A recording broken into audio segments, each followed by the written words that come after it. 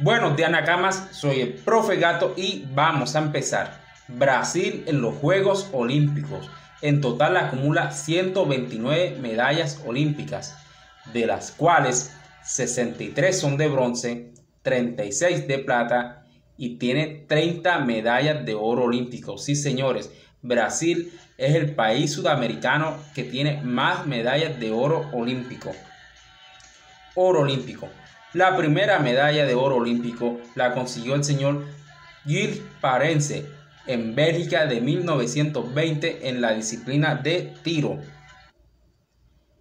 La disciplina que le ha otorgado más medallas de oro a Brasil es el deporte de la vela con 7 medallas de oro.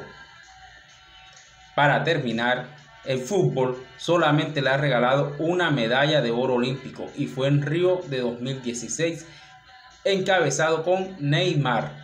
Muchas gracias por todo y suscríbete.